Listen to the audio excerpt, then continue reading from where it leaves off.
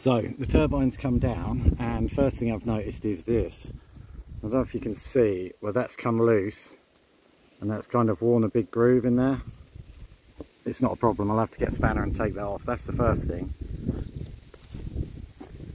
Second thing, this needs fixing. Uh, that was actually in, but only by a couple of uh, couple of wires, so that's obviously not good enough. So that needs stripping.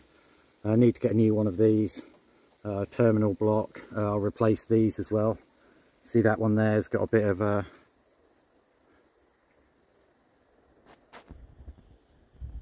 trying to zoom in on. That one's got a bit of meltage, so they need replacing.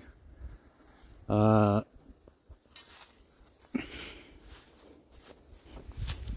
the bolts actually came off both sides so I've no idea how this thing stayed on but it did but the chain was holding the motor in.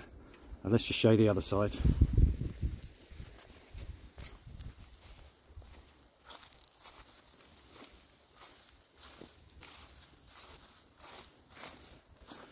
That's the other side where the bolts come out completely. Uh, there's no damage to this. This looks a bit messy but all I wanted to do was cover those wires at the end to make sure they weren't getting stripped.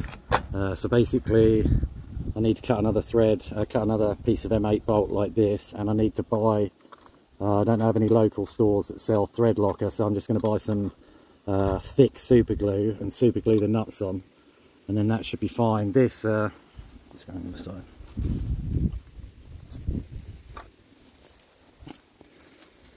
This is still super solid and this was a genius idea and thanks to the people who uh, put in money to buy this second bearing because I was just going to go for one at first but the combination of having two and also those strips there that go all the way to the back just make it super solid. Even though it's uh, sometimes it shakes like crazy it, it's not going to fall apart apart from these bits. But I should have learnt my lesson on that by now so I've definitely got to fix that properly and get it back up and running. Uh, with regards to this these uh, it's a collar. I'll try and zoom in. It's a collar with nuts welded on it and they're rusty inside so uh, may get rid of this may keep it on there I don't know but whatever I do uh, might need to grind off these nuts uh, and weld them back on. Uh, it is in the pipeline. Eventually if I can get two people to help because I can't really do anything physical to extend the tower by that much that's a five foot piece of 63 mil uh, mild steel bar with like a 2.5 mil wall but that's the same size as the rest of the tower but you can see uh, mostly the wind comes from this direction so half the time it's blocked by the trees and then the house is right behind. When it comes from an angle there or there, that's when we seem to get the most juice. Uh, but those trees are only, I don't know, it's about two feet lower than the actual turbine. And with, with the tower only being 20 feet, and the blades are essentially five feet from the centre uh, to the end of the blade, because the hub adds about six inches either side. So this point of the blade is only really 15 feet off the ground. And if those trees are 15 feet, then you can see uh, that's not great. Also, uh, these some of these need replacing. These are very cheap from Toolstation and they do last a fair while and they do do a good job. Uh, you can see that one's obviously a bit newer. So yeah, that's it. I'm going to get that sorted out. Uh, I don't think there's any loose nuts or anything here, but I'll check, tighten them up, and then uh, we'll get it back and running again. Sweet. So the first thing I've got to do is spray a load of WD-40 in there and also in here because I do want to take, uh, well there may come a time I need to take the blades off and they're stuck on there. So I'm going to spray a load of this in there and then that can be soaking in. Then the next job is to replace that. There should be a bolt in there but it's come out.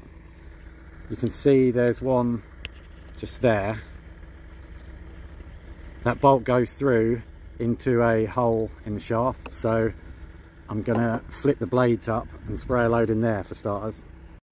Annoyingly, it looks like the bolt snapped off in there. So that could be a problem, it might have to be drilled out.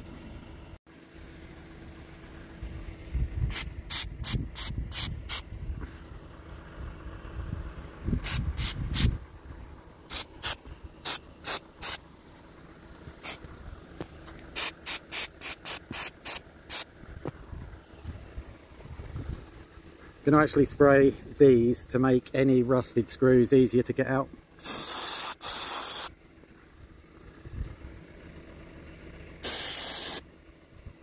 Right, I'm going to leave that settling for half an hour and then we can crack on. Just going to spray these.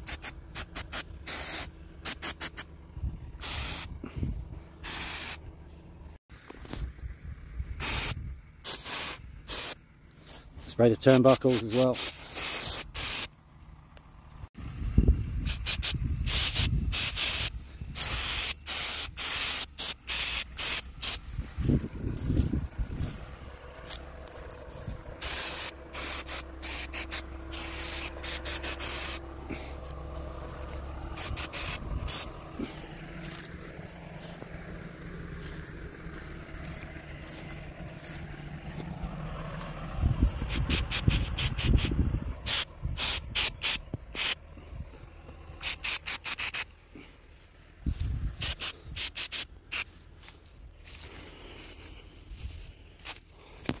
Also, I may want the tail to come off at some stage and that's super stuck on, so we're going to have some in there as well.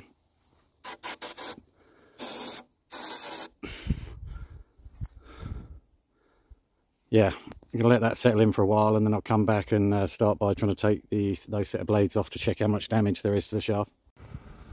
So that's those replaced with nice new ones and what I've found is best to do is if you're doing three wires is to leave five on here because I found if these are too close together particularly if you're pushing over over the 30 amps through there then they'll basically can end up melting together and causing a short. So I'm going to leave it like that. Uh, these you can see they need tidying up. I've got my uh, wire strimmers so I'm just going to trim the end off. They connect to here. These are just uh, because this wasn't long enough. I wanted to make sure the cable that came out the back of the uh, one kilowatt motor is run out of the way. See there's not a lot of clearance between the cable and the motor so it's all cable tied on there out of the way and then when I redo the connections I'm going to cable tie it on here. Sweet! So that's the motor side of the wiring sorted out and that's the tower side. All the wires are being crimped and cleaned up to make sure they've got nice fresh copper uh, I'm going to call that a day and I'm going to fix this in the next video. So I'll see you then. Cheers